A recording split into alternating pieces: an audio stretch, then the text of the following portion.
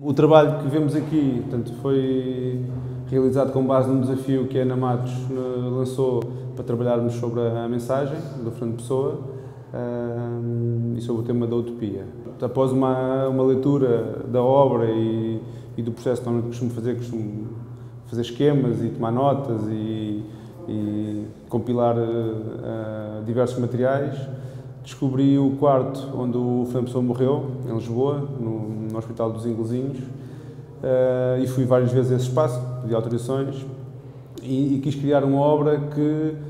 tivesse a ver com o próprio autor, neste caso um, o espaço que foi o último espaço de vida uh, do Fernando Pessoa, mas por outro lado que, que, na minha leitura fosse uma obra que tivesse uma, uma dimensão de, de sonho. É um tríptico que elas podem ser vistas ou lidas, entre aspas, individualmente ou como um conjunto, pretendem representar uma dimensão de sonho que para mim está associada à leitura que eu fiz também da, da mensagem do Fernando Pessoa. Gosto sempre, pelo menos nas obras que crio, deixar do lado de quem vê, do lado de quem está a observar a obra, a construção da sua própria narrativa.